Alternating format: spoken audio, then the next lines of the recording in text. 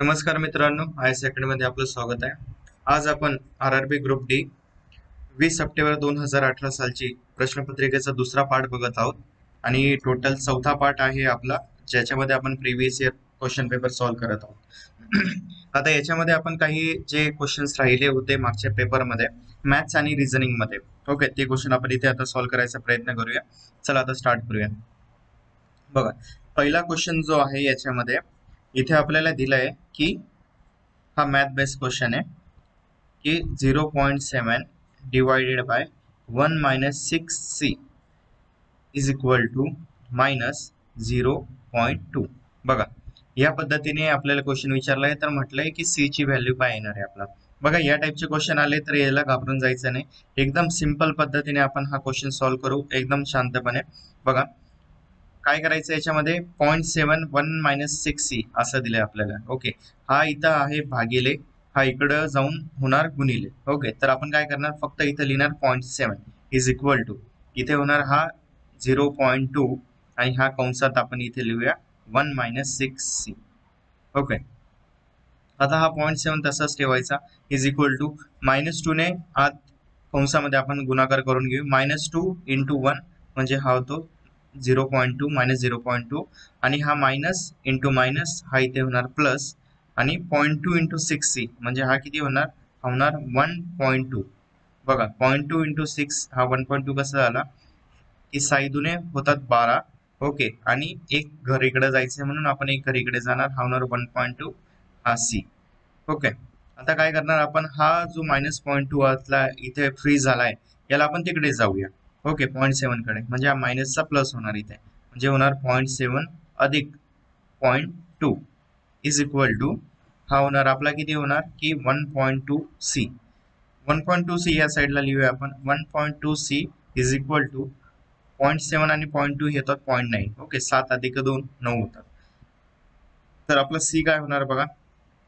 C is equal to point nine divided by one point two okay, या पद्धतीने आला हे याला आपण लिहू शकतो बघा हे पॉईंट पॉईंट काढून टाकू आपण. नऊ भागिले बारा. आता याला आपण तीनने भाग देऊ शकतो. तीन एक तीन तीन चोक बारा. ओके तीन भागिले चार. म्हणजे तीन भागिले चार याला आपण कसं लिहू शकतो बघा? अजून याला जर तुम्ही भाग दिला तर तुम्हाला इथे करता येईल की चार एक चार. बघा इथे भाग देतो मी. तीन भागिले चार बघा. समजा तुम्ही हे लक्षात ठेवलं तीन भागिले चार याला तीन चतुर्थांश म्हणतो आपण याचा अर्थ होतो point seventy five okay seventy five percent म्हणजे तीन चार पैकी तीन भाग. म्हणजे कसं म्हणता येईल बघा आपल्याला? समजा एवढे भाग गेले कोणत्याही गोष्टीचे चार भाग गेले तर त्याचे तीन भाग घेतले आपण. म्हणजे काय होतं की एखाद्या गोष्टी चार भाग केले म्हणजे पंचवीस टक्के पंचवीस टक्के आणि पंचवीस टक्के. ओके या पद्धतीने आपण चार भाग केले. आणि याच्यातले तीन भाग घेतल्यानंतर किती होतात? हे होतात सेव्हन्टी फाय सेव्हन्टी फाय म्हणजे पॉईंट झिरो सेव्हन्टी फाय असं होतात.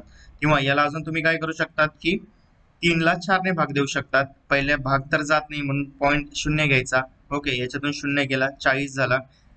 पुढे काय होतं? तीन सात एकवीस तीन आठ एक. सॉरी चार भागिले तीन आहे. ओके चार भागिले तीन आहे. तर ह्या पद्धतीने काय होणार? पॉईंट हा तीन इथे येणार शून्य येणार. चार सात अठ्ठावीस होतात. म्हणून इथं अठ्ठावीस गेले इथे उरणार दोन आणि दोनावरती परत शून्य येणार. ओके. आणि चार पंचवीस या पद्धतीने पॉईंट सेव्हन्टी फाय तीन भागिले चार याला आपण पॉईंट सेव्हन्टी फाय अशा पद्धतीने लिहू शकतो किंवा या पद्धतीने लिहू शकतो. तर आपला आन्सर काय होणार? Answer number four point seven five okay. आता परत एक सिरीज दिली आहे टू आय बघा सिरीज काय आहे? टू आय नाईन एल आणि पुढे दिलंय सिक्स्टीन ओ. बघा या सिरीजचा तुम्ही जेव्हा अभ्यास कराल त्याच्यानंतरच तुम्हाला या सिरीज सॉल्व्ह करता येतील. तर याच्यामध्ये बघा सगळ्यात पहिले ह्या दोन याला मिक्स सिरीज आपण म्हणतो म्हणजे नंबर्स पण आहे आणि अक्षर पण आहे याच्यामध्ये. ओके तर आता याच्यामध्ये आपण काय करायचं? सगळ्यात पहिले ए बी सी डी लिहून घ्यायची. A B C D E okay E पर्यंतच लिहायचं.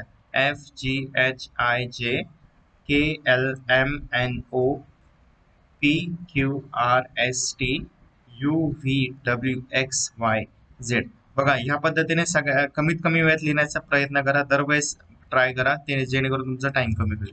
ओके तर आपल्याला काय कळतं? सगळ्यात पहिले यांनी घेतलं आय आय नंतर घेतलं एल म्हणजे एक दोन तीन. तीन नंबरचं अक्षर घेतलं त्यांनी. पुढे काय घेतलं? एल ला ओ घेतलं.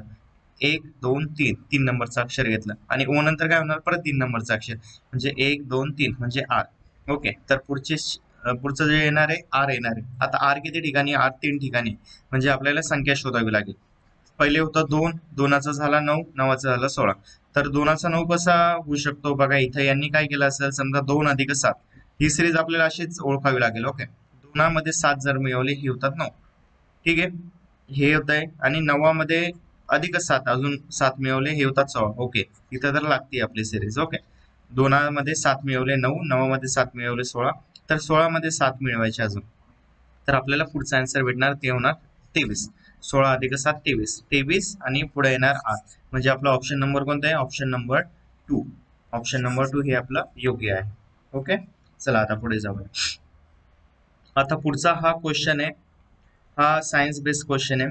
हा मराठीमध्ये कन्वर्ट करून सांगतो की इथे विचारलंय की which of the following is not based on the practical application of heating effect of electricity म्हणजे इथं आपल्याला विचारलंय की जी इलेक्ट्रिसिटी आहे त्याचं हिटिंग इफेक्ट म्हणजे ज्याच्यातून उष्णता बाहेर पडते असं कोणतं उपकरण आहे खालचं की ज्याच्यातून उष्णता बाहेर पडण्याच्या सिद्धांतावर ते वर्क करत नाही? म्हणजे बघा काय काय येतं आपलं? आपण घरात पाणी गरम तापवण्यासाठी जी कॉईल यूज करतो ओके याच्यामध्ये काय होतं? इलेक्ट्रिसिटीचं रूपांतर म्हणजे विद्युत ऊर्जेचं रूपांतर हे होतं उष्णतामध्ये ओके उष्णते ऊर्जेमध्ये किंवा टेम्परेचर वाढवण्यासाठी याचा उपयोग होतो. कॉईल झाली त्याच्यानंतर अजून काय? बाकीचे जेवढे पण हिटर येतात.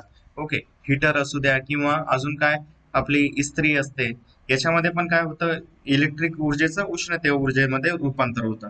तर आपल्याला काय विचारलंय की नॉट बेस म्हणजे जे ज्याचं इलेक्ट्रिसिटीचं रूपांतर उष्णतेत होत नाही असं एखादं उपकरण आपल्याला याच्यातून सांगायचंय. बघा सगळ्यात पहिले त्यांनी सांगितलं इलेक्ट्रिक केटल इलेक्ट्रिक केटल म्हणजे काय? दूध किंवा चहा तापवण्यासाठी किंवा पाणी तापवण्यासाठी इलेक्ट्रिक केटल यूज करतात. ओके तर याच्यामध्ये पण काय होतं पाणी तापवत आहे म्हणजे टेम्परेचर वाढत आहे म्हणजे उष्णतेत रूपांतर होत आहे electric flat iron electric flat iron याचा अर्थ होतो की इस्त्री आपली.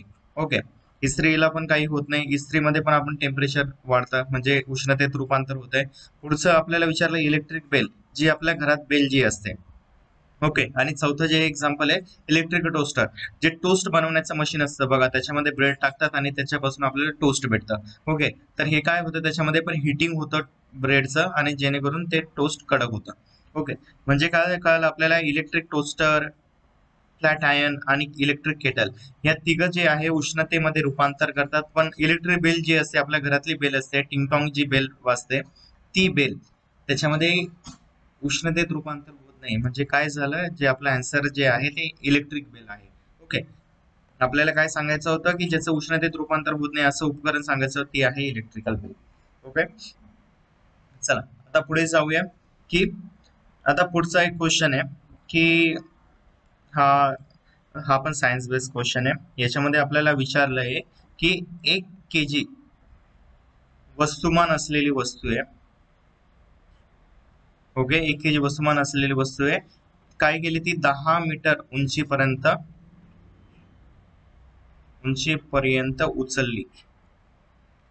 म्हणजे एखाद्या माणसाने किंवा एखाद्या मशीनने आपण काय केलं? एक ची वस्तू दहा मीटर उंचीपर्यंत उचलली तर गुरुत्वीय बलाने केलेले कार्य किती? ओके. तर आपल्याला इथं विचारलं आहे की एखादे एक केजीचं एक केजीची एखादी वस्तू आहे आणि ती दहा मीटर पर्यंत उंच उचलून नेली आपण तर गुरुत्वीय बल गुरुत्वीय बलाने किती कार्य केले?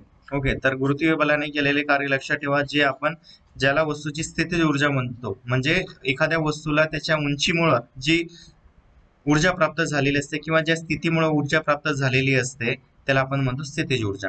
तर स्थिती ऊर्जेचं सूत्र काय आहे? एम जी एच एमचा अर्थ होतो वस्तुमान. वस्तुमान किती सांगितलं आपल्याला? एक के जी सांगितलं. ओके आणि इथं जीचा बघा जीचा अर्थ दिला इथं. जी काय घ्यायचा इथं नाईन पॉईंट एट घ्यायचा आहे. ओके जीचा आपण नाईन पॉईंट एट टाकूया. आणि एच एचचा अर्थ होतो हाईट म्हणजे किती उंचीवरती? हे आज झालं दहा. तर हे किती होत आहे बघा तर nine eight okay ninety eight आणि याचं एकक येतं जूल आता गुरुत्वीय बलाने कार्य केले त्या वस्तूवर जे कार्य केले ते पॉझिटिव्ह आहे. पण गुरुत्वीय बलाने गुरुत्वीय बलाने केलेले कार्य लक्षात ठेवा हे कधीही निगेटिव्ह असतं. ओके गुरुत्वीय बलाने केलेले कार्य निगेटिव्ह असतं कारण हे उलट्या पद्धतीने आपलं फोर्स म्हणजे त्या वस्तूला खेचत असतं. त्याच्यामुळे गुरुत्वीय बलाने दरवेळेस केलेले जे कार्य असतं ते निगेटिव्ह असतं. आणि त्या वस्तूवर झालेले कार्य ते पॉझिटिव्ह आहे. लक्षात ठेवा. वस्तूवर झालेले कार्य पॉझिटिव्ह आणि गुरुत्वीय बलाने केलेले कार्य निगेटिव्ह म्हणून इथं काय येणार? Minus ninety eight joule okay minus ninety eight खूप सिंपल एक्झाम्पल असतात. फक्त आपल्याला कन्सेप्ट माहिती पाहिजे. तुम्हाला सगळे क्वेश्चन सॉल्व्ह करता येते. बघा पुढचा हा आहे पदावली बेस आहे. दिसण्यासाठी खूप अवघड दिसत आहे बट खूप सिंपल आहे. बघा आता याच्यामध्ये काय करायचं? सगळ्यात पहिले आपल्याला कंस सॉल्व्ह करायचे असतात. हे तर माहितीच आहे आपल्याला. ओके इथं एकशे त्रेचाळीस वजा नऊ वजा दोन कंस पूर्ण. आता दुसरा कंस भागेले. आला दोन अधिक मैरपी कंस तीन गुणिले वजा पाच गुणिले हा वजा एक. ओके हा मैरपी कंस आणि कंस पूर्ण याचा आन्सर विचारलाय. बघा सगळ्यात पहिले दोन वेगवेगळे कंस आहे आपण दोन वेगवेगळे कंस सॉल्व्ह करूया. आता बघा याच्यामधला जो कंस आहे हा सॉल्व्ह करूया आपण सगळ्यात पहिले. ओके एक एक पद्धतीने जाऊया. एकशे त्रेचाळीस वजा चिन्ह तसंच नव्वातून दोन गेले उरले सात. ओके हा एक कंस आपला झाला. आता इथे काय येणार? या कंसामध्ये सगळ्यात पहिले आपण काय करतो? गुणाकार पहिले सगळ्यात पहिले भागाकार करायचा असतो. कंसात असेल तर. किंवा त्याच्यानंतर भागाकार करतो. गुणाकार करतो आपण. ओके? तर इथे बघा आता काय की तीन गुणिले मायनस पाच गुणिले वजा एक. ओके? आता याच्यामध्ये किती होतात बघा? तीन तसंच लिहूया आपण. मायनस पाच गुणिले वजा एक मायनस मायनस पॉझिटिव्ह होतात गुणाकारामध्ये. तीन गुणिले पाच होणार. पाच एक पाच. ओके? आणि हे तसंच राहणार. म्हणजे हे दोघं पॉझिटिव्ह टर्म झाले. आता एकशे त्रेचाळीस मधून सात गेले. एकशे त्रेचाळीस मधून सात गेले तर हे उरतात एकशे छत्तीस. ओके भागिले. आता इथे किती उरतात? दोन अधिक. या कंसात किती होतात? तीन गुणिले पाच हे होतात पंधरा. तीन पाचे पंधरा. आता एकशे छत्तीस भागिले. हे किती होतात? दोन अधिक दोन अधिक पंधरा हे होतात सतरा. ओके तर आपला आन्सर आता काय आलं फायनलमध्ये? की एकशे छत्तीस भागिले सतरा. आता एकशे छत्तीस भागिले सतरा किती होतात? हे येतात सतरा एक सतरा सतरा आठ छत्तीस असेल. ओके म्हणजे सतराच्या पाडा तुमचा पाठ असेल तर तुम्ही इझिली सांगू शकतात की हे याचा आन्सर आठ आहे आणि आन्सर नंबर वन करेक्ट आहे. ओके या पद्धतीने बघा दिसण्यासाठी खूप आपल्याला डिफिकल्ट दिसतं एक्झाम्पल बट आहे खूप सिंपल आता पुढचं बघा. आता पुढे आपल्याला सांगितलंय की असं जे चिन्ह आहे ओके याला आपण गुणाकार आणि भागाकाराला अधिक असं मानलं. ओके असं मानायचंय आपल्याला. या चिन्हाला गुणाकार आणि भागाकारला अधिक. तर आपल्याला विचारलं की असं जर असेल पाच five is less than seven divided by two तर याचं उत्तर किती असेल? आता सगळ्यात पहिले याच्या ऐवजी आपल्याला काय विचारायचं आहे भाग गुणाकार घ्यायचा आहे पाच गुणिले सात. ओके. आणि भागाकारला काय लिहायचं आहे भागाकारला लिहायचं आहे अधिक. अधिक दोन. तर हे किती होतात? पहिले सगळ्यात पहिले गुणाकार करून घेणार. साता पाचा पस्तीस. पस्तीस अधिक दोन. ओके. हे किती होतात? हे होतात चौतीस. बघा खूप सिंपल एक्झाम्पल आहे. काहीच नाही याच्यामध्ये. तुम्ही दहा ते पंधरा सेकंडमध्ये सॉल्व्ह करू शकता तर आपला option number three is correct. Option number three साठी आपण जाऊ शकतो. ओके. आता पुढचा बघा की याच्यामध्ये विचारलंय की तिघांपैकी म्हणजे गटात न बसणारा पर्याय विचारला आहे. पहिला जो दिलाय आपल्याला इथं दिलाय मी मराठीत लिहितो. पहिला आहे कुराड सेकंड जो ऑप्शन आहे हा आहे ब्लेड. ओके जो ब्लेड आपण यूज करतो. त्याच्यानंतर पुढचा आहे चाकू. चाकूला आपण चाकूच लिहू. आणि फोर्थ आहे पाना. ओके पाना किंवा याला आपण स्पॅनर म्हणतो. ओके स्पॅनर तर याच्यामध्ये गटात न बसणारा शब्द कोणता आहे? तर आपण इझिली सांगू शकतो की स्पॅनर किंवा पाना. हा आहे का? तर कुराड ब्लेड किंवा चाकू असू द्या हे सगळं कशासाठी? कट करण्यासाठी. काही ना काही कट करण्यासाठी ओपन कर. आपण यूज करतो. पण पाना किंवा स्पॅनर हे आपण कशासाठी यूज करतो? एखादी एखादा नट बोल्ट असेल तो ओपन करण्यासाठी आपण ते यूज करतो. बाकीच्या वस्तू कट करण्यासाठी वापरतो. ओके तर या पद्धतीने आपला ऑप्शन काय? ऑप्शन नंबर डी आता पुढचा बघा. पुढचा हा क्वेश्चन आहे. हा आहे व्याज सरळ व्याज वरती बघा सरळ व्याजवरती खूप साऱ्या सिरीज आपण याच्या आधी पब्लिश केल्या आहेत. तुम्ही त्या बघू शकता. त्याच्यामध्ये खूप सिंपल मी मेथड सांगितले की कशा पद्धतीने व्याज कॅल्क्युलेट करायचं. ओके आपल्याला विचारलं याच्यामध्ये की सोळाशे रुपयावर दहा वर्षांसाठी किती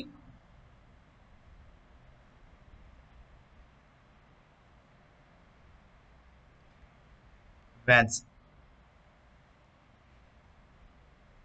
मिळेल ओके तर इथं आपल्याला चक्रवाढ व्याजाने सांगितलंय सिंपल व्याज सांगितलंय की व्याज किती मिळेल आणि दसा दसे दर किती आहे? सात पॉईंट टू फाय दसा दसे ओके हा दर आपल्याला दिलाय.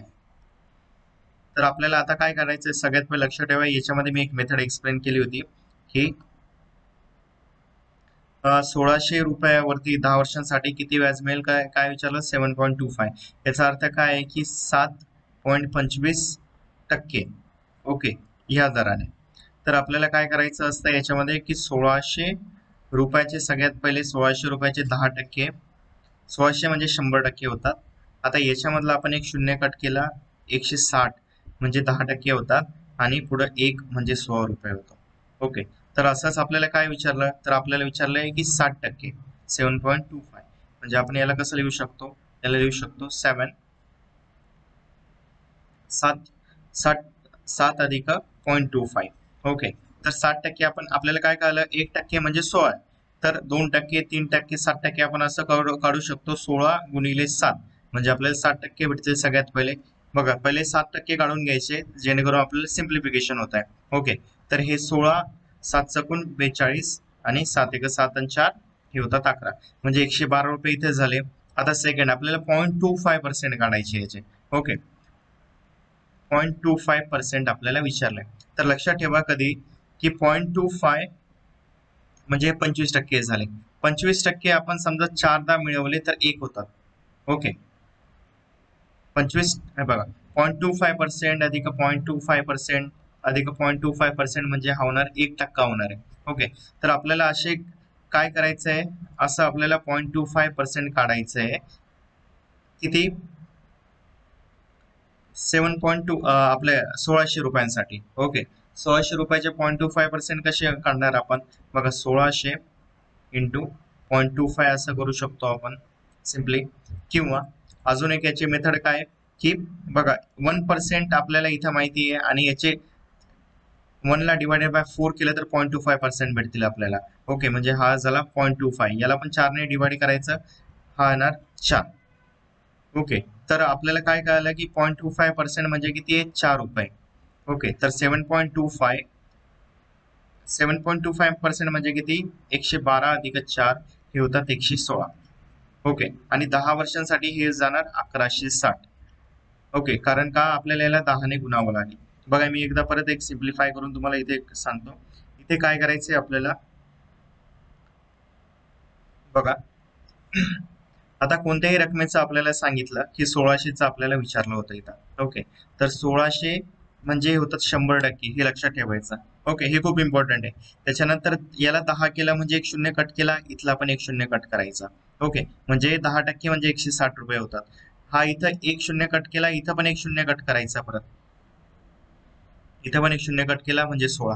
ओके म्हणजे हा एक पर्सेंट म्हणजे सोळा झालं दहा पर्सेंट म्हणजे एकशे साठ झालं आणि शंभर टक्के म्हणजे हे झालंय आपल्याला. आता सिम्पली आपल्याला काय विचारलंय की seven point two five percent आपल्याला विचारलंय सोळाशेचे तर सोळाशेचे seven point two five percent म्हणजे काय होणार?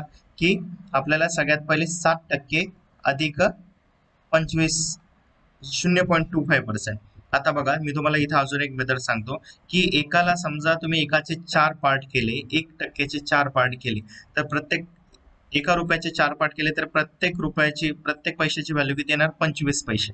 ओके याच पद्धतीने इथे येणार zero point two five percent zero point याला चारने डिवाइड केला तर याला पण चारने डिवाइड करावं लागेल मला. तर हे येणार चार. म्हणजे इथं काय काय पॉईंट ट्वेंटी फाय पर्सेंट म्हणजे चार येत आहे आपल्याला. ओके तर या पद्धतीने इथे लक्षात ठेवा की सात गुणिले एक टक्क्याची व्हॅल्यू झाली ती सोळा रुपये. ओके आणि पॉईंट टू फाय पर्सेंटची व्हॅल्यू झाली चार रुपये. तर या पद्धतीने काय होणार? सोळा सात सकून बेचाळीस. चार अचाला आणि हे झाले एकशे बारा अधिक चार म्हणजे हे होतात एकशे सोळा.